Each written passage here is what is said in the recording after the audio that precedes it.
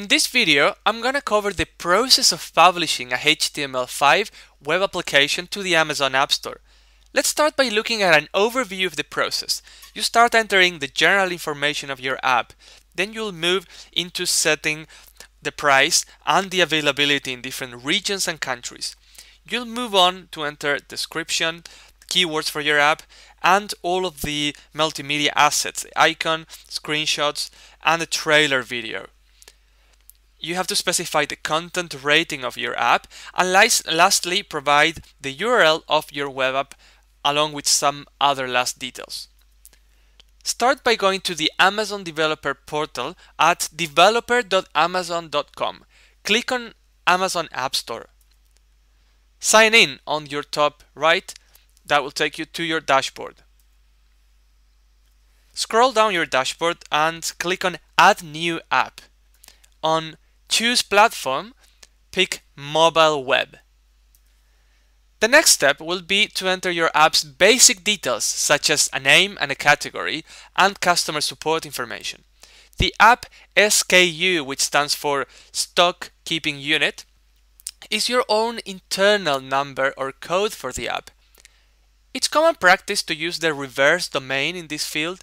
For instance, if your company website is example.com and your app is called hello, the reversed domain what you would enter here would be com.example.hello.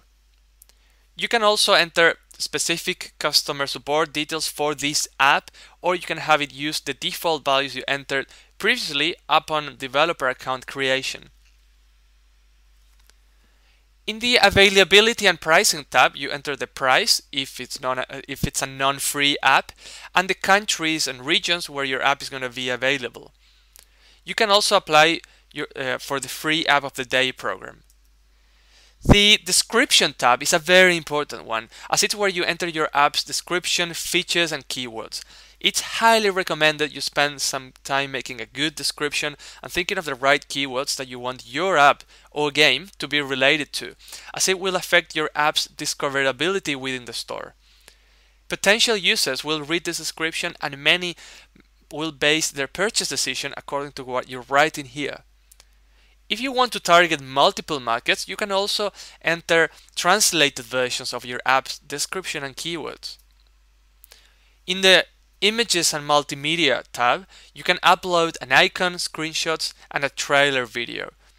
Optionally, you can upload a promotional image, which is highly recommended, as it's what prospective users will see if your app ever gets featured by the store. You can take the screenshots using the Web App Tester tool if you have a Kindle device. Otherwise, you can just use the Chrome developer tools or some other current web browsers development tools and emulate the screen size of the device you want to target. The promotional video is optional, but it's definitely recommended as it adds a lot of value. Prospective users will, will want to see your app in action and the video is a really good chance to impress them from the very start. In content rating, you have to specify whether your app includes certain topics, such as references to adult material. This will allow your app to be available only for the right segment of users. You can optionally submit a privacy policy URL. We're reaching the last step before a high five moment, which is the App Files tab. In this section, you'll submit the URL of your app. Basically, what you enter here is what your users will get access to when they download your app. Let's remember that what users install in this case is an Amazon web view that will load this URL that you put in here. In this section, you also specify the permits that your app needs from the user, such as geolocation or in-app purchase, storage, and um, the, the support of the different devices that you're that you're including.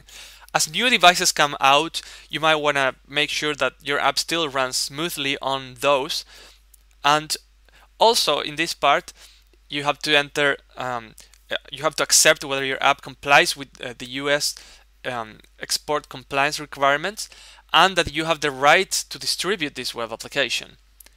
Um, in the last section of this of this tab, you'll find an area where you can enter special instructions for the people who are going to test your app during the app review process. So for instance, if your app needs access to a certain, if there's like a demo account and it, it, that, that field is going to be the place where you'll want to enter the uh, demo login and password for, for the testers of your app. So high five, you've, you're now all set to publish your first HTML5 web app at the Amazon App Store.